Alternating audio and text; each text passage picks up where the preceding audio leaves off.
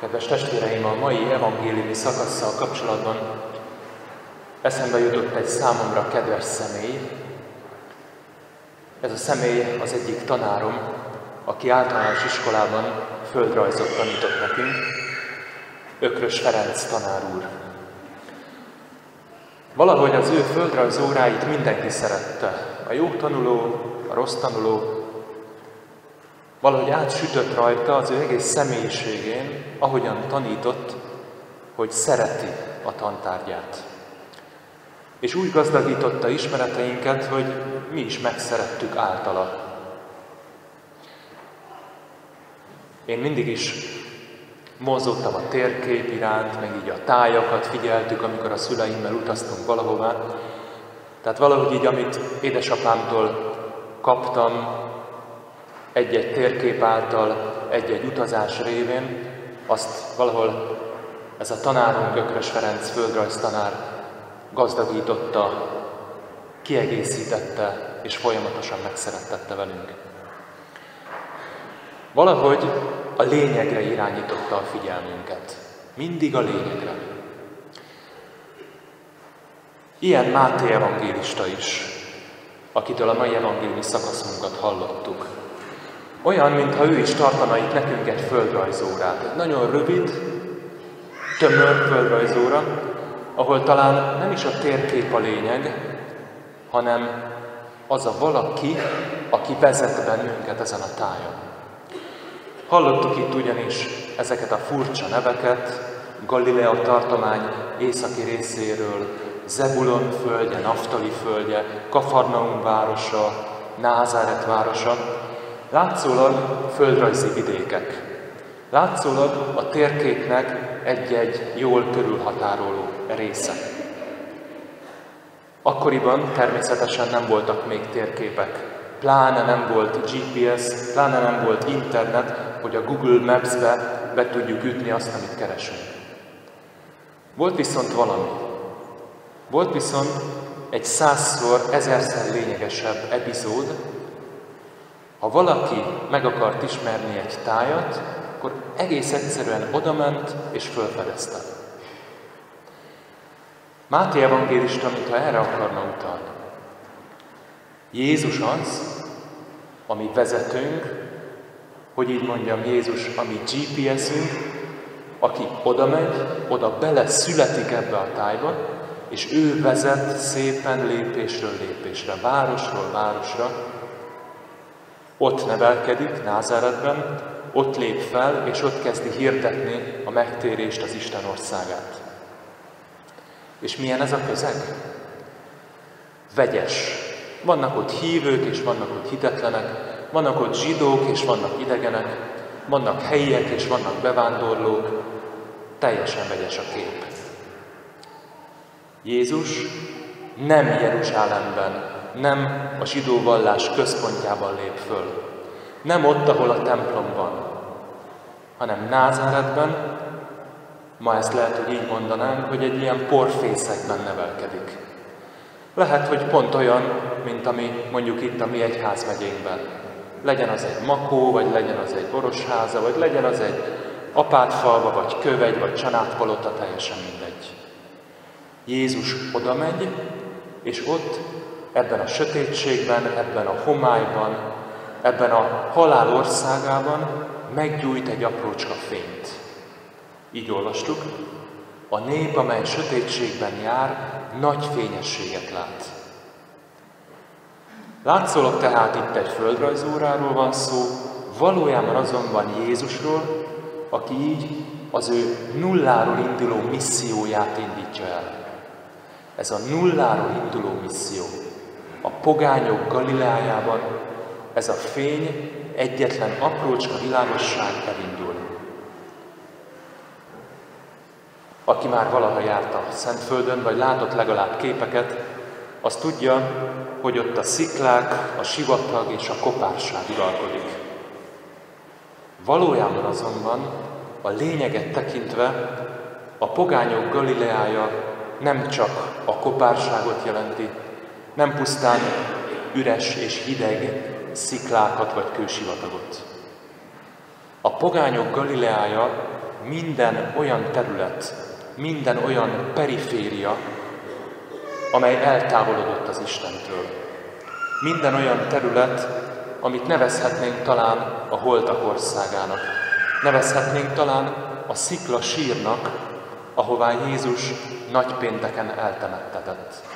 A sziklasír hidegsége, kopársága, mélysége, ahol egész nagy szombaton nyugodott. Az Istentől távol lévő birodalom. És ő ott is úgy van jelen, mint egy aprócska láng. És pontosan ezt a lángot ünnepeljük minden egyes húsvétkor, amikor is ő legyőzi a halált, és magával hozza mindazokat, akik a holtak országában nyugodtak. Valahol talán általunk is, talán a mi személyünk által is ez a láng, ez az apró fény oda mehet a holtak országába, a pogányok Galileájába, ebbe a sötétségbe, árnyéknak vagy homálynak az országába. Talán velünk, köztünk, bennünk is lehet egy ilyen földrajzórát tartani. Talán bennünk is ott van, itt a szívünkben, a lelkünkben a pogányok Galileája. Bennünk is jelen van a hívő és a hitetlen.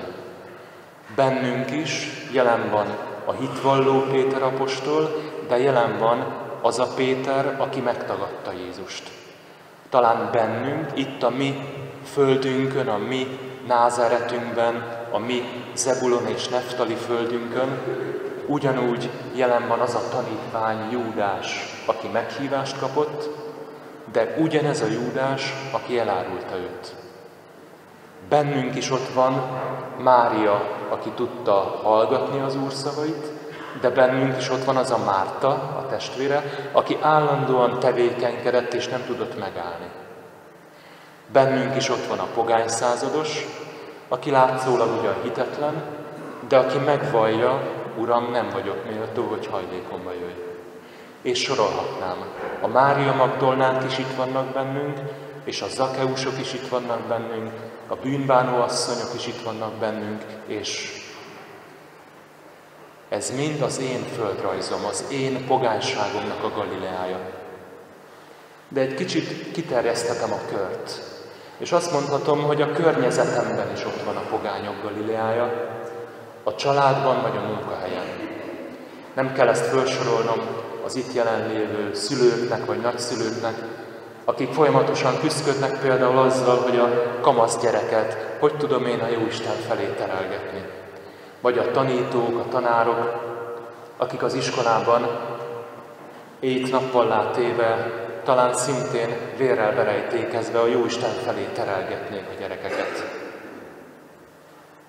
A környezetem, a családom, a munkahelyem mind-mind egy ilyen Zebulon és Neftali földje. Mit tudok tenni? Azt tudom tenni, amit az Úr is mond. Térjetek meg. Vigyétek oda az Isten országát ezekre a területekre. És milyen érdekes, hogyha elmegyek a peremvidékekre, azért, hogy esetleg a megtérést vigyem, akkor rájövök arra, hogy igazából én fogok megtérni, és ennek következtében fog ez a fény talán egyel és még egyel továbbadódni. Nem csak bennem, nem csak a közvetlen környezetemben, hanem az egész világban, ebben a nyugati kultúrkörben ugyanúgy mondhatom, hogy jelen van a pogányok Galileája. Ez a missziós egyháznak a területe. Az az egyház, amelynek mindannyian tagjai vagyunk, és amely arra hivatott, hogy ebben a missziós megtérésben éljen, és így egészen tudatosan mindenki felelősen részt vegyen ebben a munkában, amit missziónak nevezünk.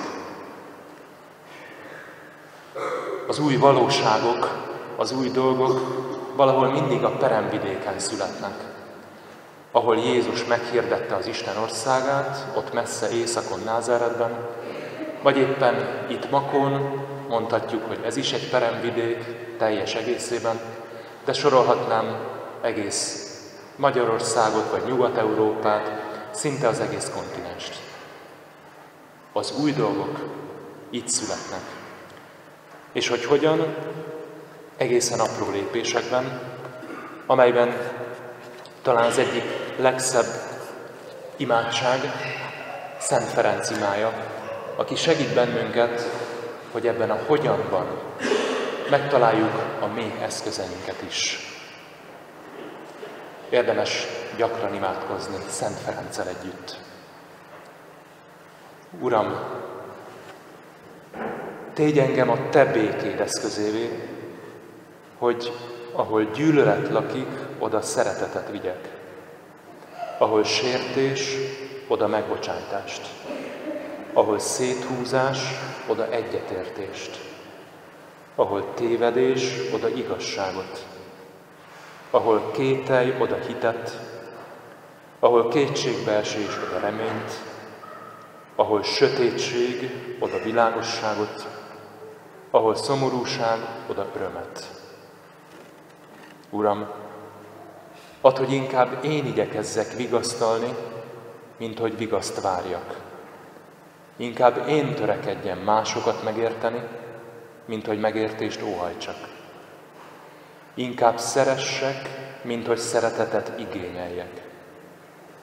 Mert magunkról megfeledkezve találjuk meg igazán magunkat, ha megbocsájtunk, nekünk is megbocsájtanak, és ha meghalunk, azzal örök életre ébredünk.